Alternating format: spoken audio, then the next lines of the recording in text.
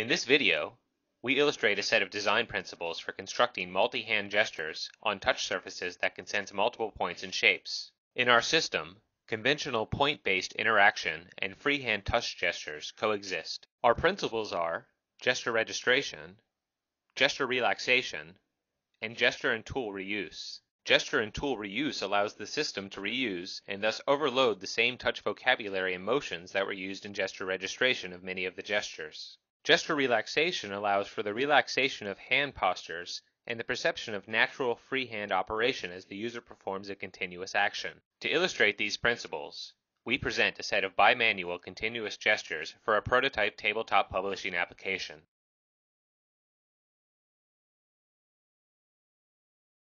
Gesture registration occurs when two fingers are placed on the tabletop. At this time, the stylus behaves as a writing tool. This phase allows for the relaxation of the gestural input.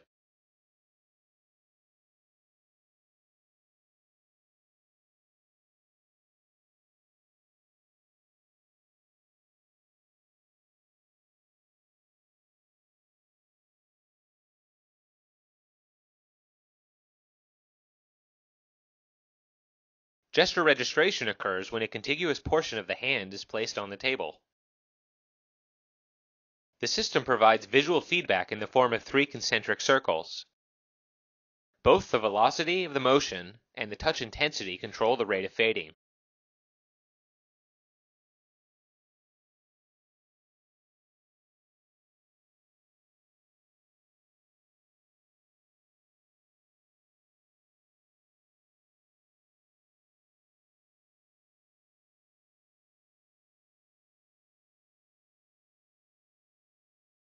Gesture registration occurs when a person grabs a portion of a document with their fingers. A rectangular box illustrates what region of the document is selected. Gesture relaxation allows any hand pose to control the selection box. When the user places the stylus on the table, the system displays a preview of the selected region. Lifting the stylus from the table returns the user to the selection phase. While previewing, the selection gesture is reused to scale the preview.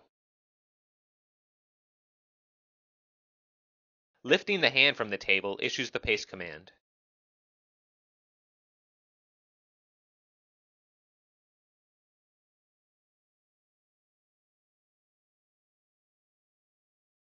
If instead the user places their stylus inside the selected region, a cut command is issued.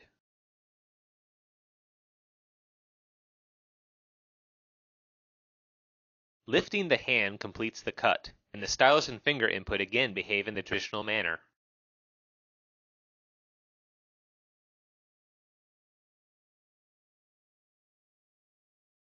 Gesture registration occurs when someone places two hands on the table.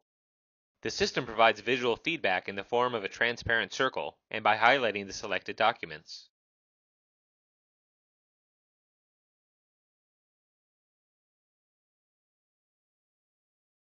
When a person has selected the desired documents, he or she creates the pile by quickly collapsing his or her hands.